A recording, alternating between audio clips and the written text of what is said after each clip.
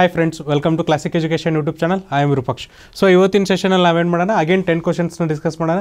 ಯಾವುದಪ್ಪ ಅಂದರೆ R R B group D exams ಮೇಲೆ.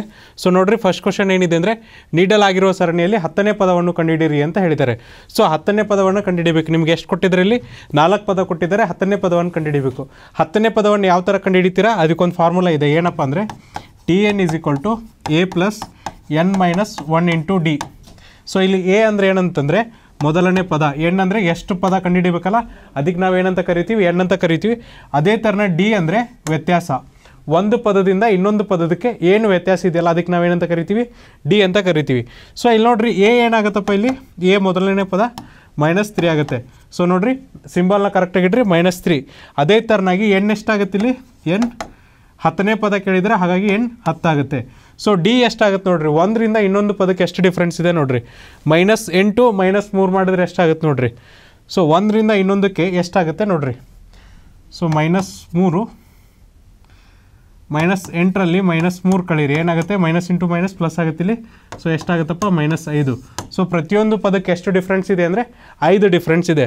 ಸೊ ಮೈನಸ್ ಮೂರಲ್ಲಿ ನೀವು ಮೈನಸ್ ಐದನ್ನು ಕಳೆದ್ರೆ ಮೈನಸ್ ಎಂಟು ಬರುತ್ತೆ. ಮೈನಸ್ ಎಂಟರಲ್ಲಿ ಮತ್ತೆ ಮೈನಸ್ ಐದನ್ನ ಆ್ಯಡ್ ಮಾಡಿದರೆ ಹದಿಮೂರು ಬರುತ್ತೆ. ಈ ಥರ ಮೈನಸ್ ಮೂರಕ್ಕೆ ಮೈನಸ್ ಐದು ಆ್ಯಡ್ ಮಾಡ್ತಾ ಹೋಗಿದ್ದಾರೆ. ಹಾಗಾಗಿ ಇಲ್ಲಿ ಡಿಫ್ರೆನ್ಸ್ ಎಷ್ಟಾಗುತ್ತೆ? ಮೈನಸ್ ಫೈವ್ ಆಗುತ್ತೆ. ಸೊ ನೋಡಿರಿ, ಇದನ್ನು ನೆನ್ಪಿಡ್ರಿ ಯಾವುದು? ಸಿಂಬಲ್ ಸೈನ್ನ ನೆನ್ಪಿಡ್ರಿ. ಸೈನ್ ಭಾಳ ಇಂಪಾರ್ಟೆಂಟು ಹಾಗಾಗಿ ಇಲ್ಲಿ ನಮಗೆಲ್ಲ ಗೊತ್ತಾಯ್ತು, ಇದನ್ನು ಈಕ್ವೇಷನಲ್ಲಿ ಸಬ್ಮಿಟ್ ಮಾಡೋಣ. ಸೊ ನೋಡಿರಿ, ಮೈನಸ್ ಮೂರು ಪ್ಲಸ್ ಎನ್ ಎಷ್ಟಿದೆ ಇಲ್ಲಿ? ಹತ್ತು ಮೈನಸ್ ಒಂದು ಇಂಟು. ಡಿ ಎಷ್ಟಿದೆಯಪ್ಪ? ಮೈನಸ್ ಐದು. ಸೊ ನಾನು ಮೈನಸ್ ಇಡ್ತಿದ್ದೀನಿ.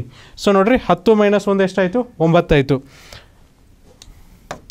ಮೂರು ಇಂಟು ಮೂರು ಪ್ಲಸ್ ಒಂಬತ್ತು ಇಂಟು ಮೈನಸ್ ಐದು. ಸೊ ಇಲ್ಲಿ ನೋಡ್ರಿ. ಇಲ್ಲಿ ಮೈನಸ್ ಇದೆ, ಇಲ್ಲಿ ಪ್ಲಸ್ ಇದೆ. ಮೈನಸ್ ಇಂಟು ಪ್ಲಸ್ ಏನಾಗುತ್ತೆ? ಮೈನಸ್ ಆಗುತ್ತೆ. ಒಂಬತ್ತು ಇಂಟು ಐದು ಎಷ್ಟಾಯಿತು? ನಲ್ವತ್ತೈದು ಆಯಿತು. ಸೊ ಮೈನಸ್ ಮೂರು ಪ್ಲಸ್ ಮೈನಸ್ ನಲ್ವತ್ತೈದು. ಸೊ ಇಲ್ಲಿ ನೋಡ್ರಿ. ಅಗೇನ್ ಇಲ್ಲಿ ಪ್ಲಸ್ ಇದೆ, ಇಲ್ಲಿ ಮೈನಸ್ ಇದೆ. ಮೈನಸ್ ಇಂಟು ಪ್ಲಸ್ ಆದರೆ ಏನಾಗುತ್ತಪ್ಪ? ಮತ್ತೆ ಮೈನಸ್ ಆಗುತ್ತೆ. ಸೊ ಎಷ್ಟಾಯಿತು? ಮೈನಸ್ ಮೂರು ಮೈನಸ್ ನಲ್ವತ್ತೈದು. ಸೊ ನೋಡ್ರಿ. ಮೈನಸ್ ಮೂರು ಮೈನಸ್ ನಲವತ್ತೈದು. ಸೊ ಮೈನಸ್ ಮೂರಕ್ಕೆ ಮನ ಮೈನಸ್ ನಲ್ವತ್ತೈದನ್ನು ಸೇರಿಸಿದ್ರೆ ಎಷ್ಟಾಗುತ್ತಪ್ಪ? ಮೈನಸ್ ನಲವತ್ತೆಂಟಾಗುತ್ತೆ ಹಾಗಾದರೆ ಹತ್ತನೇ ಪದ ಎಷ್ಟಾಗುತ್ತೆ? ಮೈನಸ್ ನಲವತ್ತೆಂಟಾಗುತ್ತೆ ಸೊ ನೋಡಿರಿ ಕ್ವಶನ್ ಭಾರಿ ಸಿಂಪಲ್ ಇದೆ ಬಟ್ ಏನು ಇಂಪಾರ್ಟೆಂಟ್ ಏನಪ್ಪ ಅಂದರೆ, ನೀವು ಚಿಹ್ನೆಗಳು, ಅಂದರೆ ಸೈನ್ಸ್ನ ನೆನ್ಪಿಡಬೇಕು. ನೀವು ಎಷ್ಟು ಸೈನ್ಸ್ನ ಕರೆಕ್ಟಾಗಿ ನೆನ್ಪಿಡ್ತಿರಲ್ಲ, ಅಷ್ಟು ಈಸಿಯಾಗಿ ನಿಮ್ಮ ಆನ್ಸರ್ ಬರುತ್ತೆ. ಸೊ ಅದೇ ಥರನೇ ನೆಕ್ಸ್ಟ್ ಕ್ವಶನ್ ಏನಿದೆ ನೋಡಿರಿ? ನೆಕ್ಸ್ಟ್ ಕ್ವಶನ್ ನೀಡಲಾದ ಸರಣಿಯಲ್ಲಿ ಯಾವ ಸಂಖ್ಯೆ ಅನುಸರಿಸುವುದು ಅಂತ ಕೇಳಿದ್ದಾರೆ. ಸರಣಿ ಏನಿದೆ ಅಂದರೆ ಸರಣಿ ನೋಡ್ರಿ, ಹದಿನೈದು, ಇಪ್ಪತ್ತು, ಹದಿನೆಂಟು ಇಪ್ಪತ್ತ್ಮೂರು ಇಪ್ಪತ್ತಾರು ಅಂತ ಇದೆ. ಹದಿನೈದು, ಇಪ್ಪತ್ತು, ಹದಿನೆಂಟು ಇಪ್ಪತ್ತ್ಮೂರು ಕ್ವಶನ್ ಮಾರ್ಕ್ ಮತ್ತು ಇಪ್ಪತ್ತು ಆರು ಅಂತ ಇದೆ. ಸೊ ನೋಡ್ರಿ, ಇಲ್ಲಿ ಎರಡು ಸರಣಿ ಇದೆ. ಫಸ್ಟ್ ಕೆಳಗಡೆ ಸರಣಿ ಏನಿದೆ ನೋಡ್ರಿ? ಇಲ್ಲಿ ಹದಿನೈದರಿಂದ ಹದಿನೆಂಟಕ್ಕೆ ಎಷ್ಟು ಡಿಫ್ರೆನ್ಸ್ ಇದೆಯಪ್ಪ?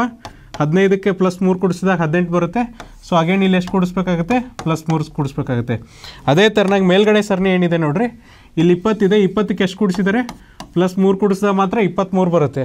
ಅದೇ ಥರನಾಗಿ ಇಪ್ಪತ್ತ್ಮೂರಕ್ಕೆ ಎಷ್ಟು ಕೂಡಿಸಿದ್ರಿಲ್ಲ ಇಪ್ಪತ್ತಾರು ಬರುತ್ತೆ, ಪ್ಲಸ್ ಮೂರು. ಹಾಗಾದರೆ ಏನು ಮಾಡಿದ್ದಾರೆ? ಅಲ್ಟರ್ನೇಟಿವ್ ಅಂದರೆ ಒಂದು ವರ್ಲ್ಡ್ ಬಿಟ್ಟು ಇನ್ನೊಂದು ಬೋರ್ಡಿಗೆ ಪ್ಲಸ್ ತ್ರೀನ ಆ್ಯಡ್ ಮಾಡ್ತಾ ಹೋಗಿದ್ದಾರೆ. ಹಾಗಾದರೆ ಹದಿನೆಂಟಕ್ಕೆ ನಾವು ಎಷ್ಟು ಕೂಡಿಸ್ಬೇಕು? ಮೂರು ಕೂಡಿಸ್ಬೇಕು. ಪ್ಲಸ್ ತ್ರೀ ಮಾಡಿಸಿದ್ರೆ ಎಷ್ಟು ಬರುತ್ತೆ ನಮ್ದು ಆನ್ಸರ್ ಟ್ವೆಂಟಿ ಒನ್ ಬರುತ್ತೆ. ಹಾಗಾದರೆ ಉತ್ತರ ಏನಾಗುತ್ತಪ್ಪ? ಟ್ವೆಂಟಿ ಒನ್ ಆಗುತ್ತೆ ಆಪ್ಷನ್ ನಂಬರ್ ಒನ್ ಸೊ ನೋಡಿರಿ ಸೀರೀಸ್ ತುಂಬ ಸಿಂಪಲ್ ಆಗಿದೆ. ನೋಡಿದ ತಕ್ಷಣ ಗೊತ್ತಾಗುತ್ತೆ ಅಲ್ಟರ್ನೇಟಿವ್ ಸಿಸ್ಟಮ್ನ ಯೂಸ್ ಮಾಡಿದ್ದಾರೆ. ಸೊ ನೆಕ್ಸ್ಟ್ ಕ್ವಶನ್ ನೋಡ್ರಿ. ನೆಕ್ಸ್ಟ್ ಕ್ವಶನ್ ಏನಿದೆ ಅಂದರೆ, ಸಂಖ್ಯೆ ಒಂದರ ಮೊತ್ತ ಅದರ ರೆಸಿಪ್ರೊಕಲ್ ಇಪ್ಪತ್ತು ಆಗಿದೆ. ಈ ಎರಡು ಗಣಗಳ ಕ್ಯೂಬ್ ಮೊತ್ತ ಎಷ್ಟು ಅಂತ ಕೇಳಿದ್ದಾರೆ. ಸೊ ನೋಡ್ರಿ. ಒಂದು ಸಂಖ್ಯೆ ಮತ್ತು ಅದರ ರೆಸಿಪ್ರೊಕಲ್ ಎಕ್ಸಾಂಪಲ್ ಈಗ ಸಂಖ್ಯೆ ಅಂದರೆ ಎಕ್ಸ್ ಅಂತ ಸಂಖ್ಯೆ ತಗೋರಿ. ಎಕ್ಸ್ನ ರೆಸಿಪ್ರೊಕಲ್ ಅಂದರೆ ಒನ್ ಬೈ ಎಕ್ಸ್ ಅದೆಷ್ಟಾಗಿದೆಯಪ್ಪ? ಇಪ್ಪತ್ತಾಗಿದೆ.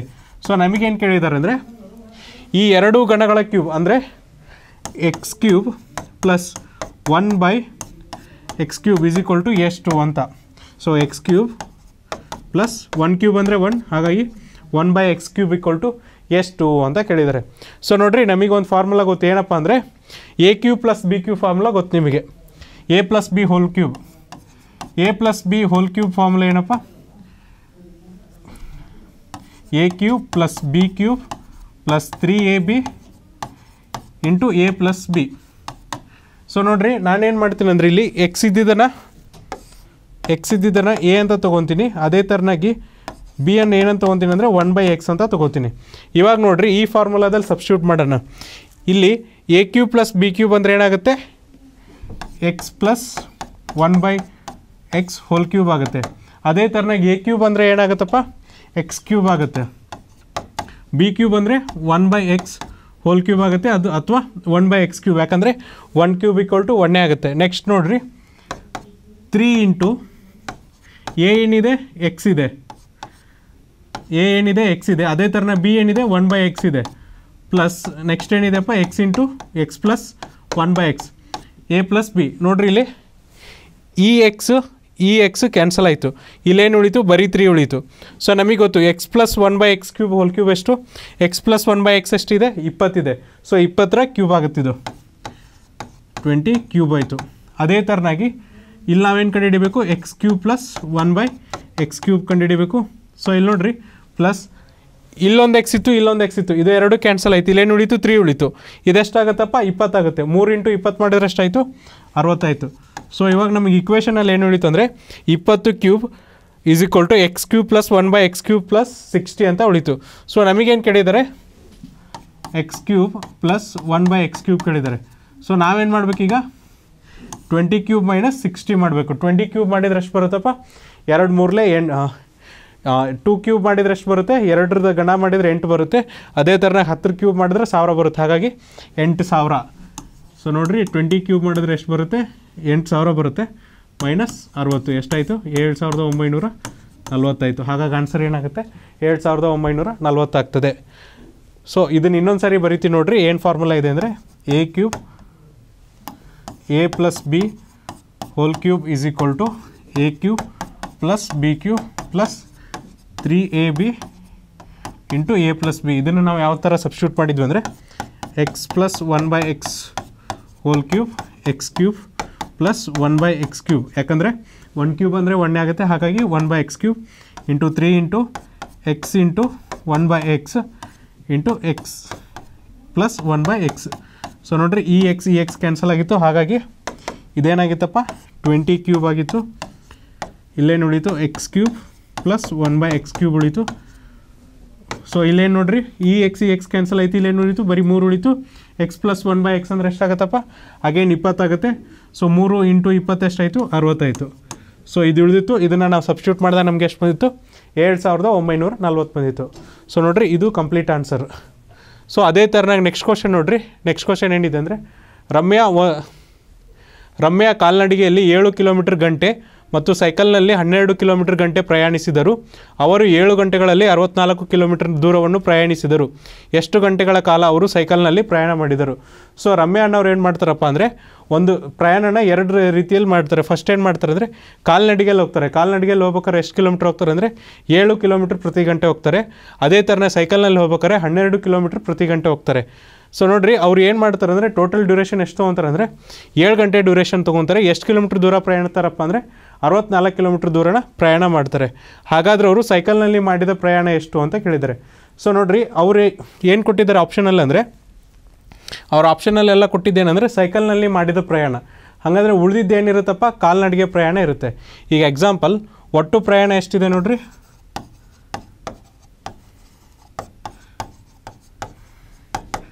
ಏಳು ಗಂಟೆ ಇದೆ. ಸೊ ಎಷ್ಟು ಕಿಲೋಮೀಟ್ರ್ ಆಗಬೇಕಿದು? ಎಪ್ಪತ್ನಾಲ್ಕು ಕಿಲೋಮೀಟ್ರ್ ಆಗಬೇಕು. ಈಗ ನಾವೇನು ಮಾಡೋಣ ಅಂದರೆ ಆಪ್ಷನಲ್ಲಿ ಏನು ಕೊಟ್ಟಿರ್ತಾರೆ ಅಂದರೆ ಸೈಕಲ್ನಲ್ಲಿ ಚಲಿಸಿದ ಪ್ರಯಾಣ.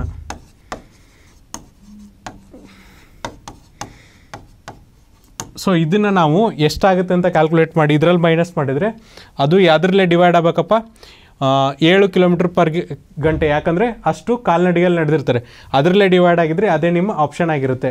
ಹಾಗಾಗಿ ನೋಡಿರಿ ಟೋಟಲ್ ಎಷ್ಟು ಕಿಲೋಮೀಟ್ರ್ ಇದೆ? ಅರವತ್ನಾಲ್ಕು ಕಿಲೋಮೀಟ್ರ್ ಇದೆ. ಫಸ್ಟ್ ಆಪ್ಷನ್ ಏನಿದೆ? ನಲ್ವತ್ತು ನಾಲ್ಕಿದೆ. ಸೊ ಫಸ್ಟ್ ಸೈಕಲ್ನಲ್ಲಿ ನಾಲ್ಕು ಗಂಟೆ ಹೋದರೆ ಅವರು ನಾಲ್ಕು ಗಂಟೆಗೆ ಎಷ್ಟು ಕಿಲೋಮೀಟ್ರ್ ಹೋಗ್ತಾರಪ್ಪ? ಅರವತ್ತು, ಹನ್ನೆರಡು ನಾಲ್ಕಲೇ ನಲ್ವತ್ತೆಂಟು. So total duration total kilometre ಎಷ್ಟಿದೆ?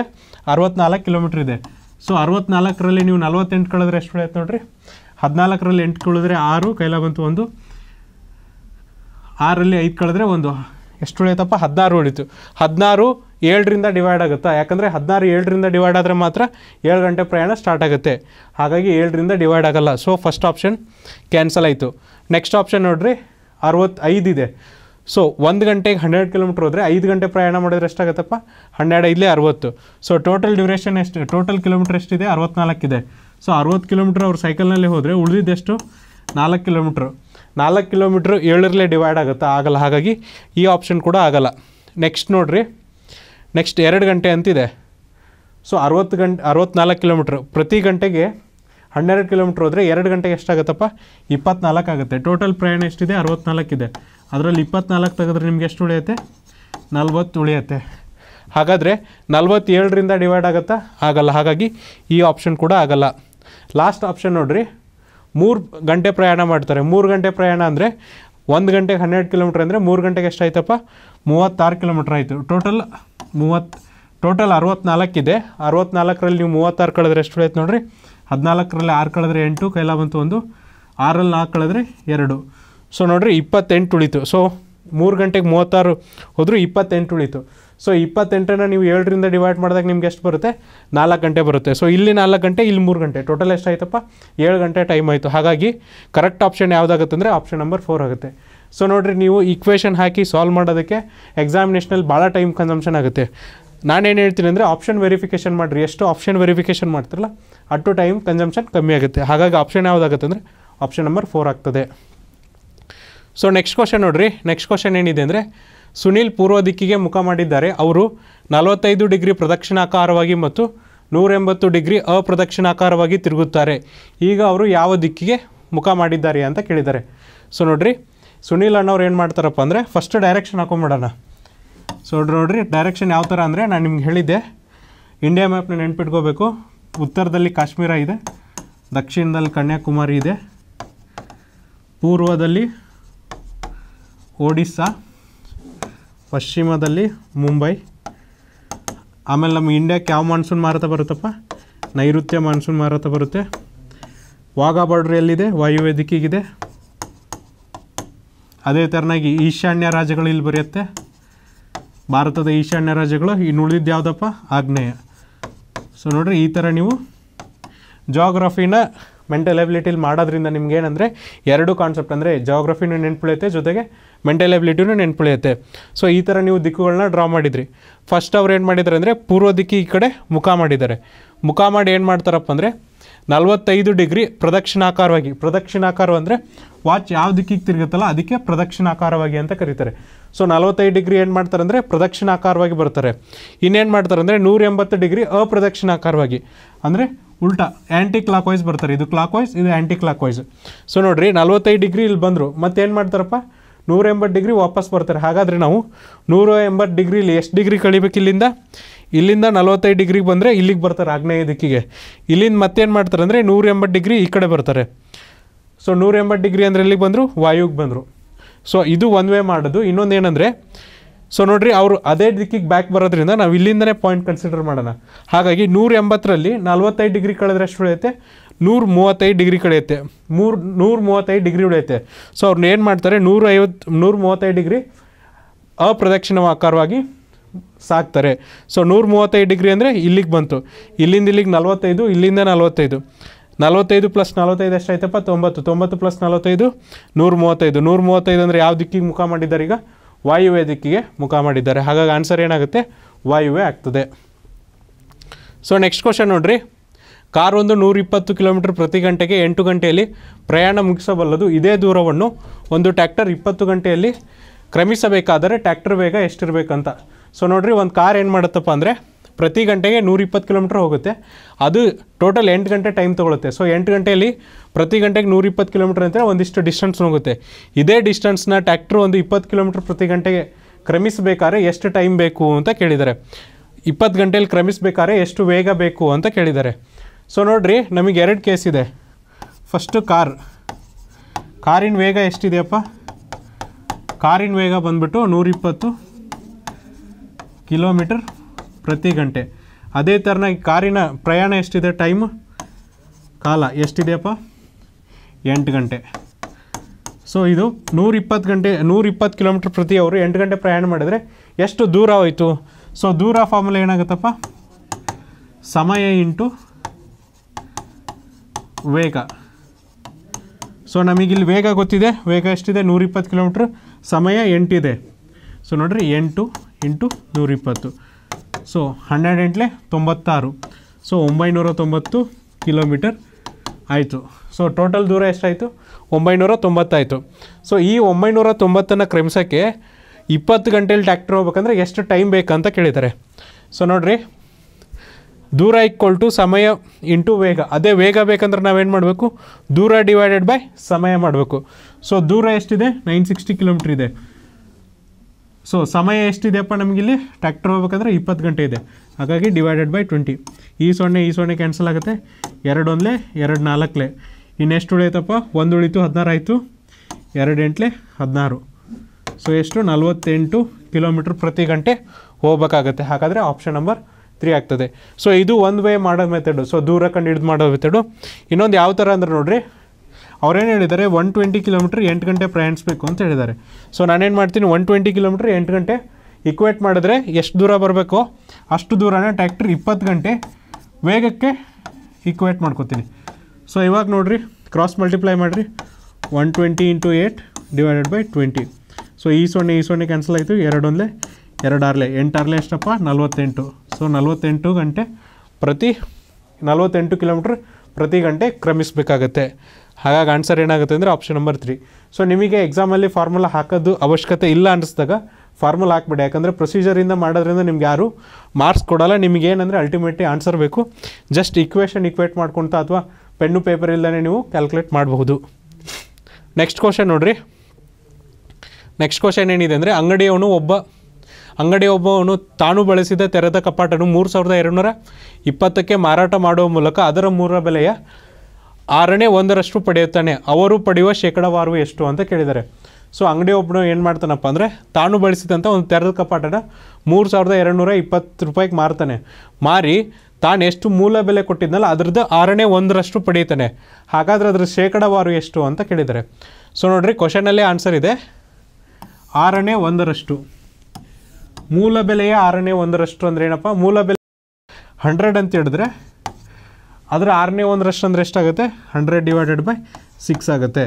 ಸೊ ನೋಡಿರಿ ಒನ್ ಪಾರ್ಟ್ ಆರನೇ ಒಂದರಷ್ಟು so one divided by six equal to ಏನಾಗುತ್ತಪ್ಪ? ಆರನೇ ಒಂದರಷ್ಟು ಹಾಗಾದರೆ ಮೂಲ ಬೆಲೆ ಹಂಡ್ರೆಡ್ ಅಂತ ಹೇಳಿದ್ರೆ ಇದು ಎಷ್ಟಾಗುತ್ತಪ್ಪ? ಆರನೇ ಒಂದರಷ್ಟು ಹಂಡ್ರೆಡ್ ಬೈ ಸಿಕ್ಸ್ ಆಗುತ್ತೆ.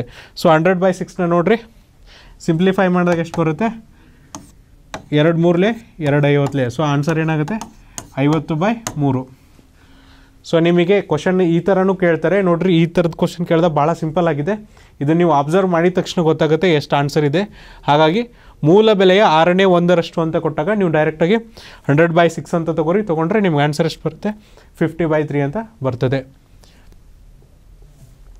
ಸೊ ನೆಕ್ಸ್ಟ್ ಕ್ವಶನ್ ನೋಡ್ರಿ. ಐದು ಬೈ ನಾಲ್ಕನ್ನು ಪಡೆಯಲು ಮೂರು ಬೈ ಐದಕ್ಕೆ ಯಾವುದನ್ನು ಸೇರಿಸಬೇಕು ಅಂತ ಕೇಳಿದ್ದಾರೆ. ಸೊ ನೋಡ್ರಿ, ಐದು ಬೈ ನಾಲ್ಕನ್ನು ಪಡೆಯಲು ಮೂರು ಬೈ ಐದಕ್ಕೆ ಯಾವುದನ್ನು ಸೇರಿಸಬೇಕು ಅಂತ ಕೇಳಿದ್ದಾರೆ. ಅಂದರೆ ಮೂರು ಬೈ ಐದಕ್ಕೆ ಎಷ್ಟು ಆ್ಯಡ್ ಮಾಡಬೇಕು? ಆ್ಯಡ್ ಮಾಡೋದನ್ನು ನಾನು ಎಕ್ಸ್ ಅಂತ ಅಥವಾ ಎ ಅಂತ ತೊಗೊತೀನಿ. ಸೊ ಅದೇನಾಗಬೇಕಪ್ಪ ಅಂದರೆ ಫೈವ್ ಬೈ ಫೋರ್ ಆಗಬೇಕು ಅಂತ ಕೇಳಿದ್ದಾರೆ. ಮೂರು ಬೈ ಐದಕ್ಕೆ ಎಷ್ಟು ಸೇರಿಸ್ಬೇಕು? ಸೊ ಅದೇನಾಗಬೇಕಪ್ಪ ಅಂದರೆ ಐದು ಬೈ ನಾಲ್ಕು ಆಗಬೇಕು ಅಂತ ಕೇಳಿದ್ದಾರೆ. ಸೊ ಅದಕ್ಕೆ ನಾವು ಹೇಗೆ ಕಂಡುಹಿಡಿಬೇಕಂದ್ರೆ ಏನು ಮಾಡಬೇಕು? ಇದನ್ನು ಈ ಕಡೆ ಕಳಿಸ್ಬೇಕು. ಸೊ ಆ ಕಡೆ ಕಳಿಸಿದ್ರೆ ಏನಾಗುತ್ತೆ? Five by four minus three by five ಆಗುತ್ತೆ. ಸೊ ನೋಡಿರಿ, ಛೇದಗಳು ಸಮನಾಗಿಲ್ಲ ಅಗೇನ್ ಲಸ ತಗೋತೀವಿ. ನಾಲ್ಕು ಮತ್ತು ಐದು ಏನಿದೆ ಅಂದರೆ crop prime to each other ಇದ್ದಾವೆ ಸೊ ಪ್ರೈಮ್ ನಂಬರ್ ಆಗ್ತವೆ co prime to each other ಇದ್ದಾಗ ಅದ್ರ ಲಸ ಏನಾಗುತ್ತೆ? ನಾಲ್ಕು ಮತ್ತು ಐದರದ್ದು ಗುಣಲಬ್ಧ ಆಗುತ್ತೆ. ಸೊ ನಾಲ್ಕೈದಲೇ ಏನಾಗುತ್ತಪ್ಪ? ಇಪ್ಪತ್ತು. ಹಾಗಾಗಿ ಲಸ ಏನಾಗುತ್ತೆ? ಇಪ್ಪತ್ತು ಆಗುತ್ತೆ. ಸೊ ನಾಲ್ಕಕ್ಕೆ ನಾವು ಎಷ್ಟು ಇಂಟು ಮಾಡಿದ್ರೆ ಇಪ್ಪತ್ತು ಬರುತ್ತೆ? ಐದು ಮಾಡಬೇಕು. ಹಾಗಾಗಿ ಐದಕ್ಕೆ ಎಷ್ಟು ಇಂಟು ಮಾಡ್ತೀರಾ? ಐದು ಇಂಟು ಮಾಡಬೇಕು. ಐದು ಐದಲೇ ಎಷ್ಟಾಯ್ತಪ್ಪ? ಇಪ್ಪತ್ತೈದಾಯಿತು ಮೈನಸ್ ಐದಕ್ಕೆ ಎಷ್ಟು ಇಂಟು ಮಾಡಿದ್ರೆ ಇಪ್ಪತ್ತು ಬರುತ್ತೆ, ನಾಲ್ಕು ಇಂಟು ಮಾಡಿದ್ರೆ ಇಪ್ಪತ್ತು ಬರುತ್ತೆ. ಅದೇ ಥರನ ಮೂರಕ್ಕೆ ಎಷ್ಟು ಇಂಟು ಮಾಡಬೇಕು, ನಾಲ್ಕು ಇಂಟು ಮಾಡಬೇಕು. ಮೂರು ನಾಲ್ಕಲೇ ಹನ್ನೆರಡು. ಸೊ ನೋಡಿರಿ. ಸೊ ನೋಡಿರಿ, ಇಪ್ಪತ್ತೈದರಲ್ಲಿ ಇಪ್ಪತ್ತು, ಹನ್ನೆರಡು ಕಳೆದ್ರೆ ನಿಮ್ಗೆ ಎಷ್ಟು ಉಳಿಯುತ್ತಪ್ಪ? ಹದಿಮೂರು ಉಳಿಯುತ್ತೆ. ಸೊ ಹಾಗಾಗಿ ಎಷ್ಟು ಸೇರಿಸ್ಬೇಕು ನಾವು? ಮೂರು ಬೈ ಐದಕ್ಕೆ ಹದಿಮೂರು ಬೈ ಇಪ್ಪತ್ತು ಸೇರಿಸಿದ್ರೆ ನಮಗೆ ನಾಲ್ಕು, ಐದು ಬೈ ನಾಲ್ಕು ಬರ್ತದೆ. ಸೊ ಇದು ಒಂದು ವೇ ಇನ್ನೊಂದು ವೇ ಹೆಂಗಪ್ಪ ಎಕ್ಸಾಮಿನೇಷನಲ್ಲಿ ಇದ್ದಾಗಂದರೆ ಜಸ್ಟ್ ನೋಡಿರಿ, ಈ ಛೇದಗಳನ್ನು ನೋಡಿರಿ. ಛೇದಗಳನ್ನು ನೋಡಿದಾಗ ಏನಾಗುತ್ತೆ? Co prime to each other ಇದ್ದಾವೆ ಹಾಗಾಗಿ ಆನ್ಸರ್ ಏನು ಬರಬೇಕು? ಟ್ವೆಂಟಿ ಬರಬೇಕು. ಟ್ವೆಂಟಿ ಇರೋವಂಥದ್ದು ಛೇದಗಳಲ್ಲಿ ಟ್ವೆಂಟಿ ಬರುವಂಥ ಆಪ್ಷನ್ ಯಾವ ಇದ್ದಾವೆ ಈ ಆಪ್ಷನ್ ಇಲ್ಲ. ಈ ಆಪ್ಷನ್ ಕೂಡ ಇಲ್ಲ. ನೆಕ್ಸ್ಟ್ ಇರೋಂಥದ್ದು ಯಾವುದು? ಇವೆರಡೇ ಆಪ್ಷನ್ ಈ ಆಪ್ಷನ್ ಸ್ವಲ್ಪ ಅಬ್ಸರ್ವ್ ಮಾಡಿರಿ. ಈ ಆಪ್ಷನ್ನ ನೀವು ಇನ್ನೂ ಸಿಂಪ್ಲಿಫೈ ಮಾಡ್ಬೋದು. ಯಾವ ಥರ ಅಂದರೆ, ಮೂರು, ಐದಲೇ ಸಾರಿ ಐದು ಮೂರಲೇ ಐದು ನಾಲ್ಕಲೇ so again three by four ಆಯಿತು. Three by four plus three by four ಕೂಡಿಸಿದ್ರೆ ನಿಮಗೆ three by four plus three by five ಕೂಡಿಸಿದ್ರೆ ನಿಮಗೆ ಫೈವ್ ಬೈ ಫೋರ್ ಬರಲ್ಲ. ಹಾಗಾಗಿ ಈ ಆಪ್ಷನ್ ಕೂಡ ಆಗಲ್ಲ. ಯಾಕಂದರೆ ಇದನ್ನು ಸಿಂಪ್ಲಿಫೈ ಆಗುತ್ತೆ. ಟ್ವೆಂಟಿ ಇದೆ ಬೇಸಲ್ಲಿ ಟ್ವೆಂಟಿ ಬರಬೇಕು ಬಟ್ ಇದರಲ್ಲಿ ಬರ್ತಾ ಇಲ್ಲ. ಹಾಗಾದರೆ ಉಳಿದಿರುವಂಥ ಆಪ್ಷನ್ ಯಾವುದಪ್ಪ? ಹದಿಮೂರು ಬೈ ಇಪ್ಪತ್ತು. ಇದು ಭಾಗ ಆಗಲ್ಲ. ಹಾಗಾಗಿ ಇದೇ correct answer so next question ನೋಡಿರಿ. ನೆಕ್ಸ್ಟ್ ಕ್ವಶನ್ ಏನಿದೆ ಅಂದರೆ ಅಗೇನ್ ಸಿಲೋಲಿಸಮ್ಸ್ ಮೇಲೆ ಕ್ವಶನ್ ಇದೆ. ನಾವೇನು ಮಾಡೋಣ? ಸರ್ಕಲ್ಸ್ನ ಡ್ರಾ ಮಾಡೋಣ. ಫಸ್ಟ್ ಸ್ಟೇಟ್ಮೆಂಟ್ ಏನಿದೆ ನೋಡ್ರಿ? ಕೆಲವು ಚೀಲಗಳು ಚರ್ಮದಾಗಿದೆ. ಸೊ ನೋಡ್ರಿ, ಕೆಲವು ಅಂತ ಕೊಟ್ಟಾಗ ಯಾವ ಥರ ಮಾಡ್ತೀರಾ? ಕೆಲವು ಚೀಲಗಳು ಚರ್ಮದಾಗಿವೆ. ನೆಕ್ಸ್ಟ್ ಸ್ಟೇಟ್ಮೆಂಟ್ ಏನಿದೆ ಅಂದರೆ, ಕೆಲವು ಚರ್ಮಗಳು ಒರಟಾಗಿದೆ. ಸೊ ಕೆಲವು ಚರ್ಮಗಳು ಒರಟಾಗಿವೆ. ಸೊ ನೋಡ್ರಿ, ಕೆಲವು ಚೀಲಗಳು ಚರ್ಮಗಳಾಗಿವೆ, ಕೆಲವು ಚರ್ಮಗಳು ಒರಟಾಗಿವೆ. ಒಂದನೇ ಆಪ್ಷನ್ ಏನಿದೆ ನೋಡ್ರಿ? ಕೆಲವು ಚರ್ಮಗಳು ಚೀಲಗಳು. ಸೊ ಕೆಲವು ಚರ್ಮ, ಚರ್ಮಗಳು ಏನಾಗ್ತಾವಪ್ಪ? ಚೀಲಗಳಾಗ್ತವೆ. ಹಾಗಾಗಿ ತೀರ್ಮಾನ ಒಂದು ಕರೆಕ್ಟ್ ಆಗುತ್ತೆ. ಎಲ್ಲ ಒರಟು ಚರ್ಮಗಳು. ಸೊ ನೋಡಿರಿ, ಎಲ್ಲ ಒರಟು ಚರ್ಮಗಳಾಗ್ತವೆ? ಆಗಲ್ಲ. ಯಾಕಂದರೆ ಕೆಲವೊಂದು ಒರಟುಗಳು ಮಾತ್ರ ಚರ್ಮಗಳಾಗ್ತವೆ. ಇನ್ನೊಂದಿಷ್ಟು ಒರಟುಗಳು ಒರಟುಗಳಾಗೇ ಉಳಿಯುತ್ತೆ. ಸೊ ನಮಗೆ ಅಲ್ಲಿ ಡೈರೆಕ್ಟ್ ರಿಲೇಷನ್ನ ಫೈಂಡ್ ಔಟ್ ಮಾಡೋಕ್ಕಾಗಲ್ಲ. ಹಾಗಾಗಿ ಎರಡನೇ ತೀರ್ಮಾನ ನಾವು ಸರಿ ಅಂತ ಹೇಳೋಕ್ಕಾಗಲ್ಲ. ಯಾಕಂದರೆ ನಮಗೆ ಮಿನಿಮಮ್ ಸರ್ಕಲ್ಸ್ನ ಡ್ರಾ ಮಾಡಿದಾಗ ಡೈರೆಕ್ಟ್ ರಿಲೇಷನ್ ಸಿಕ್ಕರೆ ಮಾತ್ರ ನಾವು ತೀರ್ಮಾನ ಸರಿ ಅಥವಾ ತಪ್ಪು ಅಂತ ಹೇಳ್ಬೋದು. ಪಾಸಿಬಿಲಿಟಿ ಕೊಟ್ಟಿದ್ರೆ ಆಗ್ಬೋದಿತ್ತು, ಬಟ್ ಇಲ್ಲಿ ಪಾಸಿಬಿಲಿಟಿ ಕೊಟ್ಟಿಲ್ಲ. ಡೈರೆಕ್ಟಾಗಿ ಕನ್ಕ್ಲೂಷನ್ ಕೊಟ್ಟಿದ್ದಾರೆ. ಆಗಬಹುದಾಗಿದೆ ಅಂತ ಇದ್ದಾಗ ನಾವೇನಾದರೂ ಯೋಚನೆ ಮಾಡ್ಬೋದಿತ್ತು. ಬಟ್ ಅವ್ರು ಏನು ಹೇಳಿದರೆ ಎಲ್ಲ ಹೊರಟು ಚರ್ಮಗಳು ಅಂತ ಹೇಳಿದ್ದಾರೆ. ಹಾಗಾಗಿ ಇದು ಪಾಸಿಬಿಲಿಟಿ ಅಲ್ಲ, ಇದು ಡೈರೆಕ್ಟ್ ಕನ್ಕ್ಲೂಷನ್ ಇದೆ. ಹಾಗಾಗಿ ತೀರ್ಮಾನ ಎರಡು ಆಗಲ್ಲ. ಹಾಗಾಗಿ ಉತ್ತರ ಏನಾಗುತ್ತೆ ಅಂದರೆ ಕೇವಲ ತೀರ್ಮಾನ ಒಂದು ಮಾತ್ರ ಸರಿಯಾಗಿದೆ. ಆಪ್ಷನ್ ನಂಬರ್ ಫೋರ್ ಆಗ್ತದೆ. ನೆಕ್ಸ್ಟ್ ಕ್ವಶನ್ ನೋಡ್ರಿ. ನೆಕ್ಸ್ಟ್ ಕ್ವಶನ್ ಏನಿದೆ ಅಂದರೆ, ನೀಡಲಾದ ಸರಣಿಯಲ್ಲಿ ಮುಂದಿನ ಅಕ್ಷರವನ್ನು ಕಂಡುಹಿಡಿಯಿರಿ ಅಂತ ಹೇಳಿದ್ದಾರೆ. ಸೊ ನೋಡ್ರಿ, ಸರಣಿ ತುಂಬ ಸಿಂಪಲ್ ಆಗಿದೆ. ನೀವು ನೋಡಿದ ತಕ್ಷಣ ಗೊತ್ತಾಗುತ್ತೆ. G X H W I V ಮತ್ತು ಕ್ವಶನ್ ಮಾರ್ಕ್ ಸೊ ಇಲ್ಲಿ ನೋಡ್ರಿ, ಎರಡು ಸೀರೀಸ್ ಕೊಡ್ತಿದ್ದಾರೆ R R B group D ಎಕ್ಸಾಮ್ಸಲ್ಲಿ first ಲೆಟ್ರದೊಂದು ಸೆಕೆಂಡ್ ಲೆಟ್ರದೊಂದು ಫಸ್ಟ್ ಲೆಟ್ರದ್ದು ಏನಂತ ಕಂಡಿಡಿಯೋಣ ಜಿ ಎಚ್ ಐ ನೆಕ್ಸ್ಟ್ ಏನು ಬರಬೇಕಪ್ಪ? ಜಿ ಎಚ್ ಐ ಜೆ ಬರುತ್ತೆ ನೆಕ್ಸ್ಟ್ ಲೆಟ್ರ್ ಸೊ ನೆಕ್ಸ್ಟ್ ನೋಡಿರಿ X W X W V X ಎಷ್ಟಪ್ಪ? Twenty four W twenty three V twenty two ಅಂದರೆ ಇದು ಡಿಕ್ರೀಸಿಂಗ್ ಆರ್ಡರ್ ಇದೆ. ಇಳಿಕೆ ಕ್ರಮದಲ್ಲಿದೆ. ಒಂದನೇದೇನಿತ್ತಪ್ಪ ಏರಿಕೆ ಕ್ರಮದಲ್ಲಿತ್ತು. ಎರಡನೇದೇನಿದೆ? ಇಳಿಕೆ ಕ್ರಮದಲ್ಲಿದೆ. ಸೊ ಎಕ್ಸ್ ಆದಮೇಲೆ ಡಬ್ಲ್ಯೂ ಡಬ್ಲ್ಯೂ ಆದಮೇಲೆ ವಿ ವಿ ಆದಮೇಲೆ ಏನು ಬರುತ್ತಪ್ಪ? ಇಳಿಕೆ ಕ್ರಮದಲ್ಲಿ ಬಂದಾಗ ಯು ಬರುತ್ತೆ. ಹಾಗಾಗಿ ಆನ್ಸರ್ ಏನಾಗುತ್ತೆ? ಜೆ, ಯು ಆಗುತ್ತೆ. ಸೊ ನೋಡ್ರಿ, ಸರಣಿ ಎಷ್ಟು ಸಿಂಪಲ್ ಆಗಿದೆ.